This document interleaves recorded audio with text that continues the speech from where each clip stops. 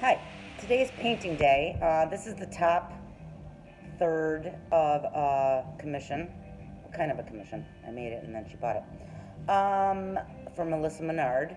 And what I'm doing is it's checked pattern, checkered, and I'm getting oil paint very watered down with turpentine. So what I'm gonna do is just get it, try to get it in the cracks, but it's okay if I don't, because messy doesn't really matter. So I've got my cup, my oil paint, very watered down, and I just slightly hold the brush and let the water drip down the crack. Of course, it's not working as well. There we go. See that?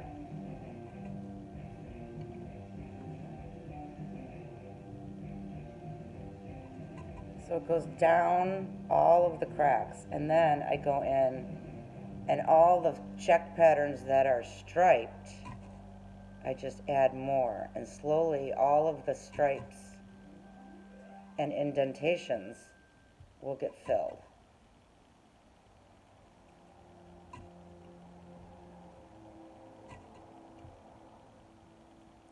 After this, um, what it comes out to look like. This is the centerpiece. I sand it and then I wash it with water. Thanks for watching.